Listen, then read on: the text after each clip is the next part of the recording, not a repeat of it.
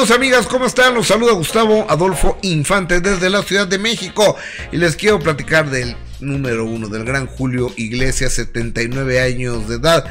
Y es que alguien lo vio en una silla de ruedas y dicen es que Julio ya no está bien de sus facultades mentales ni físicas, anda en silla de ruedas, ya perdió la proporción y la distancia de donde está y Julio salió con una carta muy larga diciendo que estaba perfectamente bien de salud, pero que no quería dar entrevistas. Y la primera suspicacia es por qué no lo hace a través de un video, por qué lo manda un mensaje que lo pudo haber escrito él, su mamá, su abuelita, su novia, su hija, su hermana, su esposa, quien sea, menos Julio Iglesias.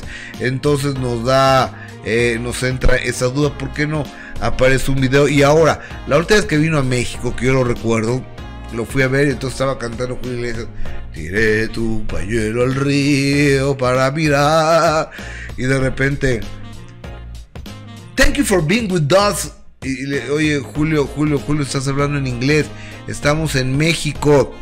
En México, mi tierra, mi hermano Raúl Velasco. Oye, Julio, Raúl ya se murió. Ah, estamos en un evento de Lolita Ayala, Lolita Ayala, una periodista. Este, ya mi hermano Jacobo Saludowski, ¿cómo está Jacobo? Ya se murió. O sea, estaba perdido en tiempo y espacio en esa ocasión.